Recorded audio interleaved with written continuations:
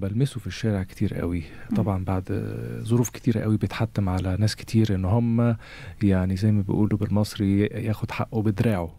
فأصبح الخوف إن هو يبقى جزء من الثقافة بتاعت الناس إنه خد حقك بدراعك لأن ليس هناك قانون نافذ ليس هناك كذا.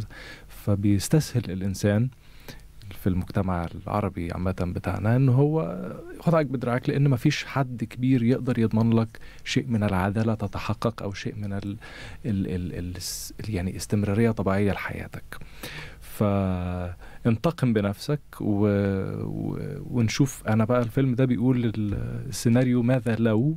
ماذا لو إنه فعندنا الأداة البسيطة السهلة اللي تقدر تضمن لي الانتقام السريع من غير ما أسيب أثر ونشوف نتيجة نتيجتها هتبقى عاملة إزاي.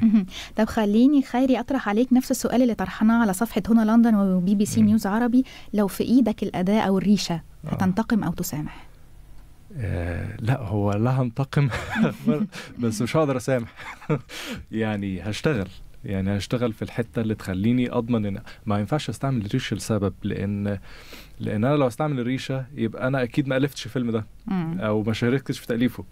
لأن أنا عارف السيناريو عارف النتيجة. لو ما أعرفش النتيجة يبقى أكيد أنا مش صانع الفيلم. أه ال ال هسامح؟ لا مش هسامح. يعني أنا مثلا لو المجتمع ظالمني أو أو أو حاسس إن أنا مش واخد حقي هجتهد في المنطقة اللي تخليني ما اتخذش من الشر أسلوب أو سلوك للانتقام من الشر أو للرد على الشر.